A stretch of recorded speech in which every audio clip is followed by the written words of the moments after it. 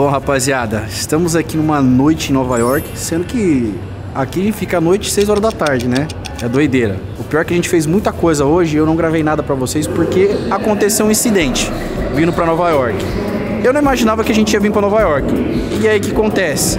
Eu não comprei roupa de frio. Aí o que, que teve que acontecer? Infelizmente, né? Pelo acaso de tá frio, eu tive que comprar roupa de frio, senão eu não ia comprar. Tá calor aqui embaixo. Eu quero que o trem chegue logo. É, aqui tá calor. Lá em Não, Subway, mas desculpa. Desculpa. Só que lá em cima, lá fora, tá frio. Tá um cagalho. Nossa senhora, mas tá muito quente. Eu sei, o Subway é quente. Então eu comprei, ó, Tá chegando, tá chegando. a calça, a blusa, a touca emprestada do Edu.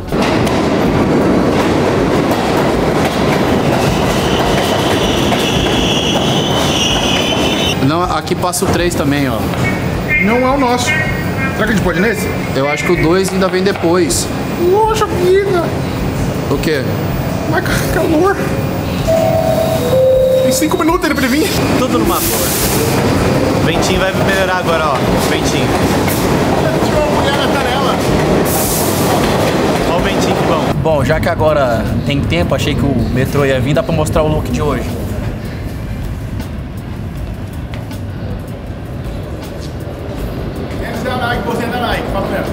Camiseta da Jordan, não tem como. Você não falou que você tá usando o kit agora? Tem que entender que eu não, não, não curti o kit todo, senão eu ia ter que comprar o tênis, ia ter que comprar a camiseta. E eu não tô com espaço na mala pra poder levar pro Orlando. Então, você viu, né, gente? Espaço ele não tem, mas dinheiro é outra coisa. Talvez. É outra história. de- Ah, vamos, vamos fazer? Onde nós vai? Vamos fazer assim? Então no metrô, pra ver onde nós Ah, e vamos na última estação do metrô. É. A cara dele. É que ele tá com vontade de ir no banheiro. Vai no trilho, igual você falou. É o número 2? Ah, entendi. Bom, Nova York é uma coisa engraçada, rapaziada. Aqui é impossível andar de carro, é muito mais fácil andar de metrô. Com isso daqui a gente consegue andar durante sete dias ilimitado. Só que eu não consigo passar duas vezes na mesma catraca. Então, por exemplo, se eu esquecer esse cartão e o Cristian tiver o cartão e ele passar pra mim ali pra mim entrar, já não vai dar certo. Teria que ser em outra estação para mim poder passar. Então, se eu entrar nessa daqui, descer na outra, eu posso passar novamente livremente, porque ele é ilimitado durante sete dias e ele custa 34 dólares. 35, né? Porque 35. Como, como você não tinha um cartão, teve que É. comprar o cartão. Se você tem esse cartãozinho, você coloca lá e recarrega ele. Agora, se você não tem, você tem que comprar o cartãozinho, daí custa um dólar. Caramba, custa tudo isso, mas pra imprimir o bagulho? Eles querem ganhar dinheiro, né? Eles não têm culpa que você. Eu queria ganhar um ar-condicionado. Pelo amor de Deus, eu tô suando aqui. Vocês não estão suando, não é possível. Eu tô. Eu já senti muito frio, né? Porque eu vim de short pra cá, agora tá de calça e blusa, é luxo, né? Pra quem gosta de confusão, bagunça, iluminação pra tudo quanto é lado, estamos no lugar. A Times Square é aqui, né? Olha isso, mano. Tanto de propaganda.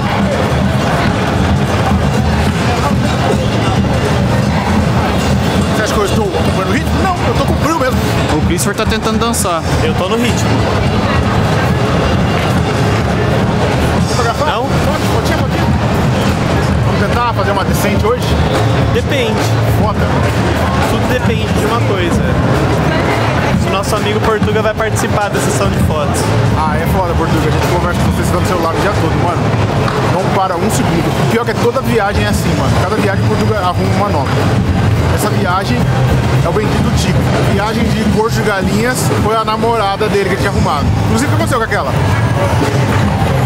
Você tava mal apaixonado, você acha que eu esqueci? Equipos da vida, né? Mano, ele tava muito apaixonado. A gente lá em Porto de Galinhas, fazendo um mó tourzão, a cidade tinha um hotel de convidado, a gente pra conhecer a cidade. E o Portugal aqui, ó.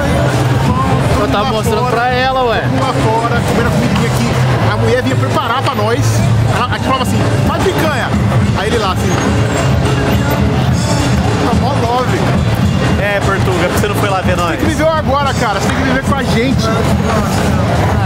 Demônio! Vampiro. Vamos tirar uma fotinha com a rapaziada. A parte do rolo e confusão é isso aqui, ó. O tanto de gente. O trânsito aqui é uma loucura. Tudo aqui é uma loucura. É uma. Aquela coisa mesmo que você imagina. Que não pode falar agora. Tem até desenho infantil aqui passando pras crianças. Ô, Falar nisso, ontem a gente veio aqui, comprou o molho que você queria e você dormiu. Não comeu com a gente. Eu não Então tenho. agora é a oportunidade de você entrar lá e comprar o molho. E frango, né? Comer com ele. É, eu sou a favor do frango.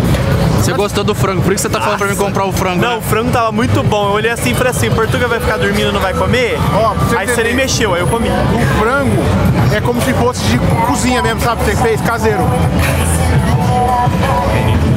Aqui é uma loucura mesmo. O frango é, é tipo assim, caseiro mesmo. É, é gostoso. Só não comi mais porque era frito. Eu falei, vai engordar, né? Aí. Rolou, deixei tudo pra ele, comeu tudo. Ainda por cima pegou o chipora, comeu com a batatinha, junto, misturou com o molho. Ele comeu minha parte. Você tava dormindo? E estragar? Você tava dormindo? Mas se eu acordasse depois, eu comeria. Você abandonou a gente ontem, Portuga. Aceita, vai lá agora comprar sozinho. A última vez que o Edu veio em Nova York, teve um show do Post Malone aqui na Times Square. Eu não sei muito bem onde que foi, mas eu sei que foi aqui. Ainda foi, tipo, do lado de um telão, tá ligado? E, além disso, ele divulgou o lançamento de um restaurante que acho que é dele. Foi o que o Edu me falou, que é esse aqui, ó. Keynes. Mano, ele é basicamente um concorrente do Chicken Filet, né? E aí eu queria muito experimentar, porque eu não, não conheço. E eu sei que depois eu não vou ter essa oportunidade a hora que eu voltar pro Brasil. Então é muito bom quando você viaja poder experimentar coisas novas. Então por isso hoje vamos experimentar o Raising Canes. Ó, tem até em português, em português. Comendo local pra viagem. Bom, eu provavelmente vou pedir um hambúrguer e também umas tiras de frango. Aqui só tem os combos, tiras de frango. Meu Jesus amado, é muita coisa. Mano, só tem o combo normal deles, velho. Eu vou pedir um combo de sanduíche com queijo e salsa. Não dá pra pedir mais. Não dá pra pedir mais coisa? Vou pedir mais um molho, que é o que eu quero experimentar. Limonada na média, já coca média, coca zero. É isso. Cane gelo, ok. Não tem um que eu posso pedir só frango, velho? Frango empanado. É, eu pedi dois frango empanado e tá ótimo. Tudo deu 18,62. Tudo comprado. Comprei um franguinho pra você. Aê! Obrigado, amigo. Você é muito amigo. Conseguimos sair daquela bagunça do Keynes, rapaz. Ou o lanche é muito bom, ou a propaganda é muito boa. Agora vamos ficar na dúvida. Eu tenho que comer primeiro pra dar, dar o meu veredito. É muito bom, mas eu não comi o lanche. Você não comeu o lanche? Só o frango. Por que você não comeu o lanche? Eu não gosto. Queria lanche, eu queria o frango. Mas o lanche é de frango. Tem lanche de frango lá? Então depois eu experimento.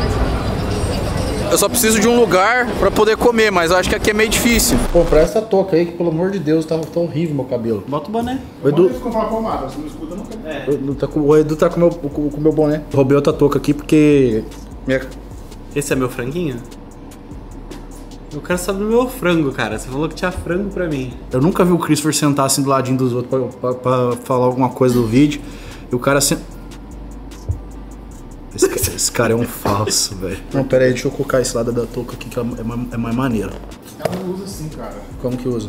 Pelo amor de Deus. Não, é meu cabelo, cara. Dobrou. Por exemplo, pareceu pior aqui, sem camisa. O quê? Você sem camisa? Você. Aí, ó, agora sim. Você pode usar assim também, igual uma loqueira aqui, ó. Fica bom. É, parece até que seu topete tá no lugar assim. Ó, eu achei muito interessante a embalagem deles porque ela é toda bonitinha. Não tem molho. Não tem molho, velho. Ainda bem que eu tenho o molho da última vez que a gente comprou, né? Então deixa eu trazer. Eu pedi dois molhos, velho. Não, é legal que ele guardou o molho, ele não queria dar pra você não, ó. Ele guardou pra ele usar. Não, gente, tá na geladeira. Uhum. Qualquer um, é só abrir e pegar. Tadã! Tá vendo? Salvei você. Não, o molho é gelado. Bom, eu comprei dois molhos desse aqui. Esse aqui é o, é o molho do Keynes. Mas nenhum deles vieram, então a gente tem outro aqui. Dizem que esse molho aqui é mais divino que o famoso molho. Ó, eu comprei um franguinho pra você, ó. Obrigado, Jovem. Você é muito legal. Ó, esse aqui é o franguinho empanado deles. A gente dá aquela chuchada no molho. Hum. O molho é bom.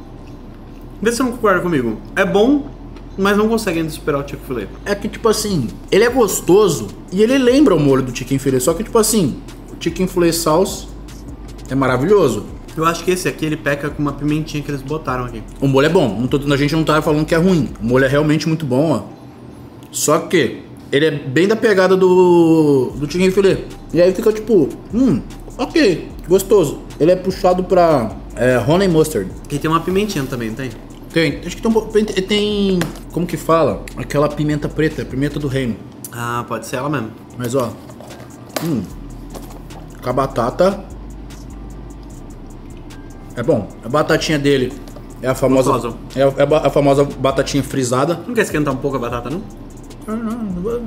Eu não sei se particularmente o formato da batata ele traz sabores diferentes. Eu sei que as batatas, quando você compra lá, se você comprar a rústica, outros tipos, ela tem um diferencialzinho porque a rústica ela vem com a casca da batata. Mas eu não sei se o formato de ser ondulado traz um sabor melhor pra batata, porque tudo vai ser batata no final. A diferença vai ser mais na hora de fritar ela, no que você vai utilizar pra fritar. Esse aqui é o básico, né? O lanchinho que a gente tinha lá do Keynes. Será que já vem com o molho do Keynes aqui dentro? Vem.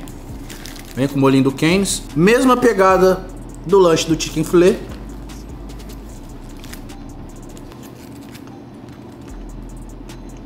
Hum, gostoso. Mas, se a gente fosse comparar, que eu não acho muito legal, com o Chicken Filet, obviamente o Chicken Filet ganharia disparadamente. Eu acho que o que salvaria ele aqui, ó, é o molhozinho do Keynes, né?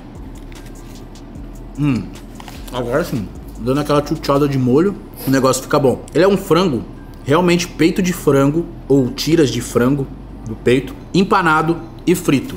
Então, tipo assim, é basicamente um frango bem caseirão. Não sei se dá pra ver, mas ó, são tiras de frango empanadas. Vou dar mais aquela chuchada aqui. Maravilhosa. E vambora. Eu vou dar uma nota pro lanche de 0 a 10 e eu vou pontuar o que eu achei gostoso no lanche e o que eu achei interessante. Eu vou dar um 8 pelo molho, porque como o lanche tem o molho dentro e, o- e esse molho aqui é o, é o molho do lanche, eu vou dar um 8. Até porque não tem nada assim de grandioso. Tipo, quando você morde, você sente um sabor exuberante. É um lanche muito gostoso. Eu falaria o mais saudável pela questão de ser frango e tal, ser tira de frango mesmo. Mas como é um fast food é frito, então a gente não tem como colocar como saudável. Mas a batatinha ondulada é um ponto muito, muito bom. Eu gosto da batatinha ondulada. Que nem eu falei, eu não sei se dá diferença pro, pro sabor da batata, mas pra mim eu acho mais gostosa que a batata, batata convencional. Então, batatinha tá ok. Pãozinho brioche de praste. E nada tão diferente. É só o pão, frango e molho. Então, por isso, é um lanche simples, gostoso. Mas eu não vou dar uma nota muito alta por essa questão. Essa é a nota que eu estou dando, segundo o meu paladar. Comida é uma coisa muito de pessoa para pessoa. Então a gente não pode falar, tem coisas que podem ser gostosas para mim, mas para você não pode ser gostoso. Mas é muito bom. É um lanche bem simples, quem gosta de frango empanado, excelente. E o molhinho realmente muito bom. Bom, voltamos aqui pro apartamento com essa linda, uma coisa indiscutível. Nova York à noite é bonita demais, mano. Essas luzes dos apartamentos, arranha-céu que tem por aqui, mano, deixa um efeito muito doido.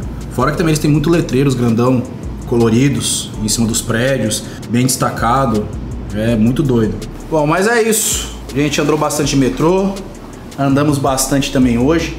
Eu amanhã quero até colocar no meu Apple Watch e calcular mais ou menos o quanto a gente anda aqui dentro. Eu já tenho.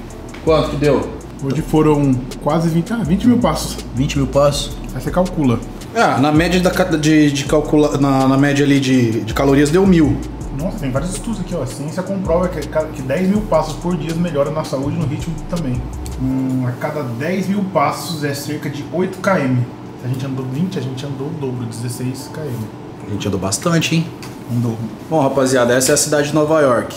A cidade onde você dificilmente quer ter um carro pela dificuldade de estacionar, dirigir, entre outras coisas. E a cidade que você anda pra caramba.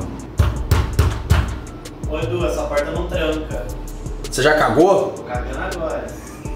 Bom, mas é isso, rapaziada. Espero que vocês tenham gostado do vídeo. Esse foi o vídeo do pouco do rolezinho nosso ali em Nova York. Prometo gravar mais e parar de fazer só compras e esquecer de vocês. Não vou esquecer. Vou levar vocês amanhã o dia todo comigo. E é isso. Curtiu o vídeo aqui em Nova York? Já deixa aquele like pesado. Não se esqueça de se inscrever no canal. Eu vou nessa. Um forte abraço. Valeu, falou. Tchau!